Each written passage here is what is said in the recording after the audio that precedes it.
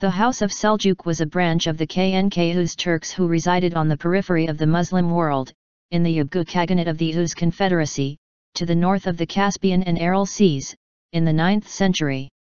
In the 10th century, the Seljuks started migrating from their ancestral homeland into Persia, which became the administrative core of the Great Seljuk Empire. In the latter half of the 11th century, the Seljuks began penetrating into the eastern regions of Anatolia. In 1071, the Seljuk Turks defeated the Byzantines at the Battle of Manzikert, starting Turkification of the area.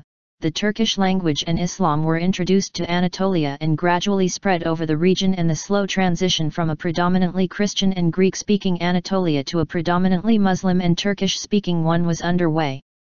In 1243, the Seljuk armies were defeated by the Mongols, causing the Seljuk Empire's power to slowly disintegrate. In its wake, one of the Turkish principalities governed by Osman I would, over the next 200 years, evolve into the Ottoman Empire.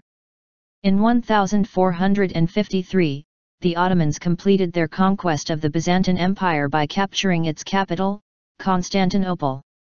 In 1514, Sultan Selim I, 1512-1520, successfully expanded the empire's southern and eastern borders by defeating Shah Ismail I of the Safavid dynasty in the Battle of Chaldiran.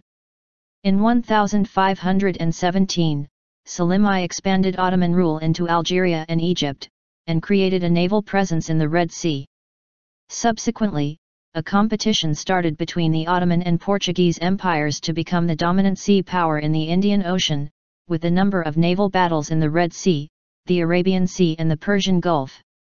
The Portuguese presence in the Indian Ocean was perceived as a threat for the Ottoman monopoly over the ancient trading routes between East Asia and Western Europe, later collectively named the Silk Road.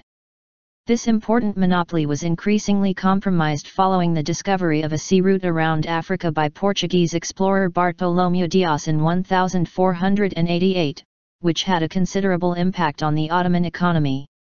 The Ottoman Empire's power and prestige peaked in the 16th and 17th centuries, particularly during the reign of Suleiman the Magnificent. The empire was often at odds with the Holy Roman Empire in its steady advance towards Central Europe through the Balkans and the southern part of the Polish-Lithuanian Commonwealth. At sea, the Ottoman navy contended with several Holy Leagues, composed primarily of Habsburg Spain, the Republic of Genoa, the Republic of Venice, the Knights of St. John, the Papal States, the Grand Duchy of Tuscany and the Duchy of Savoy, for control of the Mediterranean Sea. In the east, the Ottomans were occasionally at war with Safavid Persia over conflicts stemming from territorial disputes or religious differences between the 16th and 18th centuries. From the beginning of the 19th century onwards, the Ottoman Empire began to decline. As it gradually shrank in size, military power, and wealth, many Balkan Muslims migrated to the empire's heartland in Anatolia, along with the Circassians fleeing the Russian conquest of the Caucasus.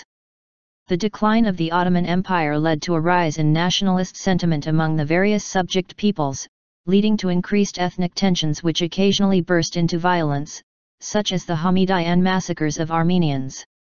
The Ottoman Empire entered World War I on the side of the Central Powers and was ultimately defeated. During the war, the empire's Armenians were deported from eastern Anatolia to Syria as part of the Armenian genocide. As a result, an estimated 1,500,000 Armenians were killed. The Turkish government denies that there was an Armenian genocide and claims that Armenians were only relocated from the eastern war zone. Large-scale massacres were also committed against the empire's other minority groups such as the Greeks and Assyrians. Following the Armistice of Mudros on October 30, 1918, the victorious Allied powers sought to partition the Ottoman state through the 1920 Treaty of Sèvres.